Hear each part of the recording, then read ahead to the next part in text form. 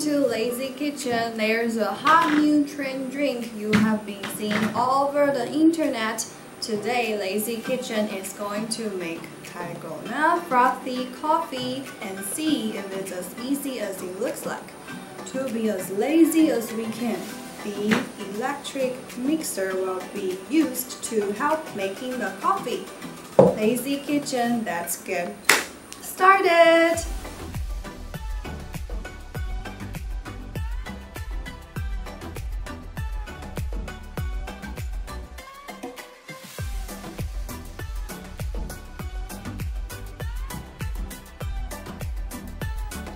The recipe uses a 1 to 1 to 1 ratio of all ingredients. We are going to use 2 tablespoons of black coffee, 2 tablespoons of sugar,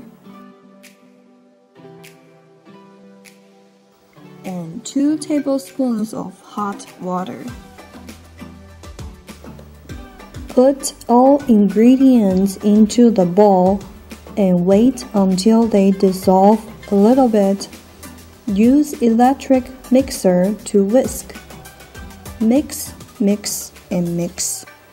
It is done when the texture looks like this. Put the ice into the cup and pour the milk. Scoop the frothy coffee and add it on the top it is finished.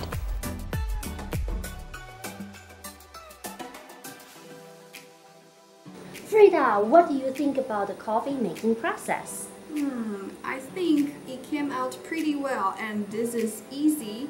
If you don't have the electric mixer, you can also use the cup to shake it.